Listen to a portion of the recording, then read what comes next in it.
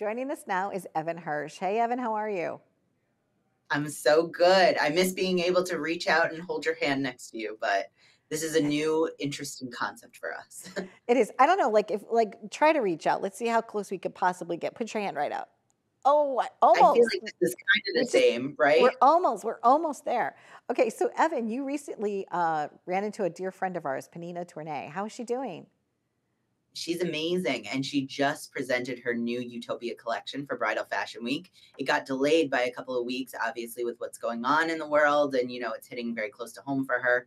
But um, she managed to become triumphant and she showed her new utopian collection which could not be more fitting. It was a hope for a utopian society and a better world. So she showed that throughout her collection and everybody was just there to support her which was really really nice. And she you know has this amazing partnership with kleinfeld so you'll get to see a little bit of that.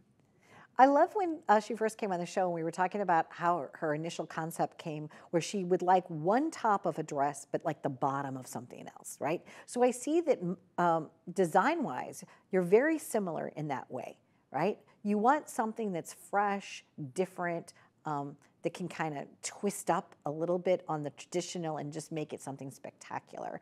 What have you been designing lately, Evan? What have you been, what's been underneath uh, the sewing machine as I'm making this sewing machine kind of motion right here?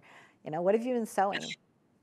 So I just finished, I think I teased a little bit of it last time, but I just finished my bridal fashion week collection, which was um, dresses that have a built in cape for people who are going to different affairs, especially if there's a more conservative uh, kind of portion of it, or like a church that they're going to, or religious ceremony where they could put a cape over their arm and then when they get to the reception they could drop it down and party it all night long or if they get some liquid confidence and they're suddenly very comfortable with their arms they can show it for the world to see. So that was really cool. That was a good partnership that i did with uh, Kretzia international.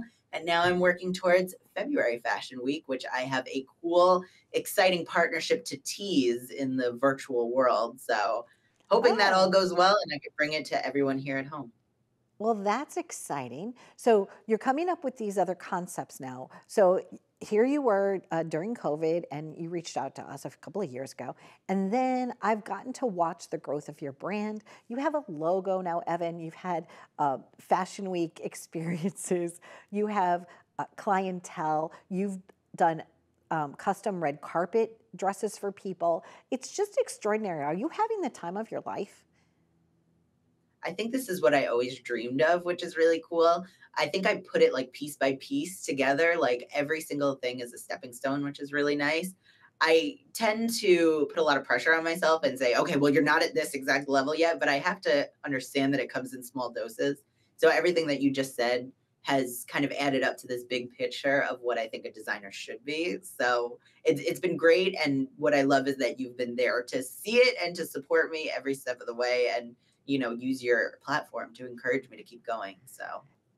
I'm not the only one uh, in TV, like Tamron Hall. You were doing the Tamron Hall show, and now you're doing these brand collabs. Whether the brands are contacting you or you're con contacting them, it must be so much fun.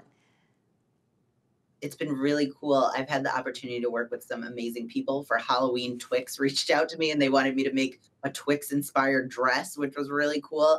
I worked with Joanne Fabric to premiere their new fall collection, which was really cool that dress went on to receive like 5 million 6 million views online. So it's crazy what these things can turn into. And it, i can really bring their visions to life also. So i never thought i would be working with such prestigious companies but it helps me to be more creative and then i reach out as well. So it's a great kind of mix. And what color um, is exciting you at this time? Like what are you like for february coming up is there a color I would say I've been working with a lot of Navy recently, so that's been like a good, you know, a good kind of subject for me to focus on. I like to be very inclusive of all colors, but uh, Navy has been really cool for me. And then I do a lot in Burgundy also. So they're kind of two totally different spectrums of the color theory, but I really love working with it. But I'll never exclude a color, even things that people shy away from, like a bright yellow. I, I, it just makes me so happy. So I can do anything in any color, and I do the transforming dresses. So it might start out one and turn totally different. So wonderful. Well, have a beautiful, happy holiday season. Always looking forward to seeing you as soon as we can actually be in the same place at the same time. Thanks again, Evan.